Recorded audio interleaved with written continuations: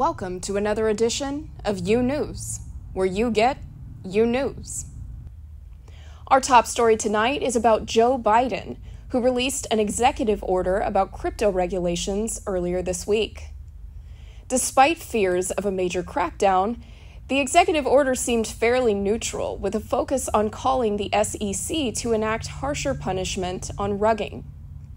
Rumor has it Biden's sudden favorable turn towards crypto trading is because he heard people were using gas for it.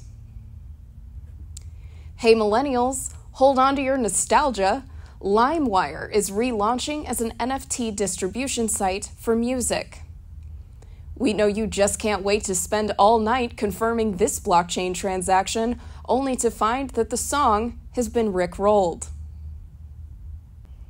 Over in legal troubles, a class action lawsuit has been filed against several influencers, including Jake Paul, a YouTuber who allegedly earned over $2 million promoting pump and dump crypto schemes last year.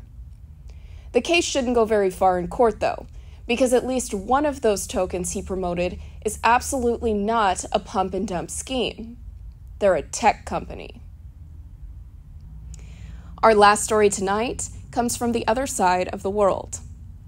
In support of Ukraine, many companies have elected to stop all services in Russia as a cross between supporting sanctions and some kind of woke virtue signaling bandwagon tactic. These companies stopping service in Russia include Visa, MasterCard, PayPal, Coca Cola, and even McDonald's. I'm sure these sanctions will stop the war immediately with Putin by cutting him off from his favorite wartime sustenance, the Happy Meal.